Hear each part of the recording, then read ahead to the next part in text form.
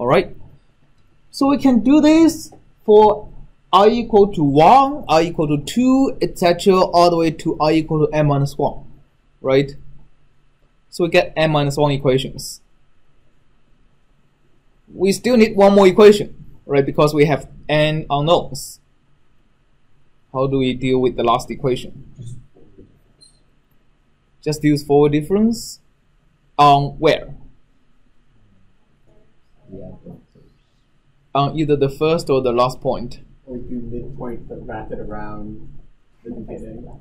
Or do midpoint but wrap it around the, to the beginning. I guess that depends on how you what on what system you're trying to model. If that's an acceptable assumption. Right, okay. So now we get to a point where the discretization, the conversion from the ODE to an approx uh, from a PD to an approximate ODE actually depends on the boundary condition of the PD. So this is a very important message because without knowing the boundary condition, you actually have no way to discretize the PDE into a solvable set of ODEs. Right? You always are missing equations if you don't have boundary conditions. So you actually need the complete PDE plus the boundary conditions in order to even get to a solvable state. So here, the boundary condition is known to be periodic. And what does periodic really mean? It means that not only the U0 coincides with UN, whenever you say a periodic boundary condition, it actually means like the solution is periodic. It is as if I have a infinitely long x, but the constraint is it's such that okay so here I actually draw something not completely right. So here if the solution is truly periodic I couldn't have something like this. I have to have a solution that that is the same shape same derivative same second ah, same second derivative and etc right? So so basically I have an infinite duplication of the same function through space Alright, so that means when I want the derivative at this point, I can simply follow the suggestion. Who gave the suggestion of wrap it around? Yeah, we can follow your suggestion of wrapping it around. So basically we have the special uh, point to be which one ends up being zero? I have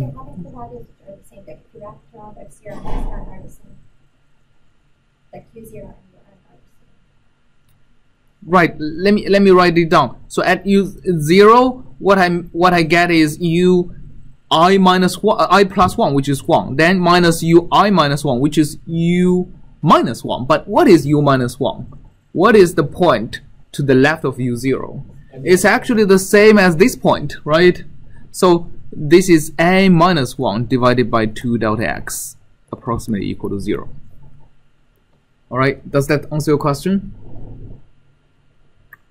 This is the periodic point right? So this point is the same as this point. If I look to the left of this point I get the same value as un minus 1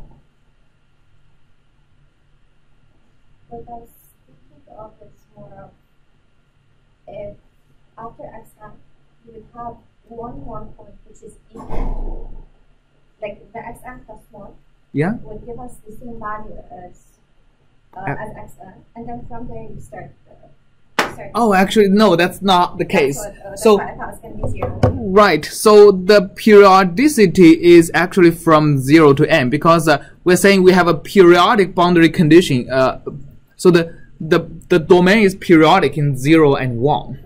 And x0 is exactly 0, xn is exactly 1. Right. So basically you are carrying this part of the space over. Alright. Okay. Now we have n equations right, and unknowns, we can solve it. But not in the traditional sense of, uh, of having n equations algebraically and n unknowns algebraically. We have n equations, but each equation is an ordinary differential equation. We have n unknowns, but each unknown is actually a function of time. So we have to solve this equation not using a matrix form or even Newton's iteration, we have to solve this equation using an ODE solver, right? Okay, so let's do it.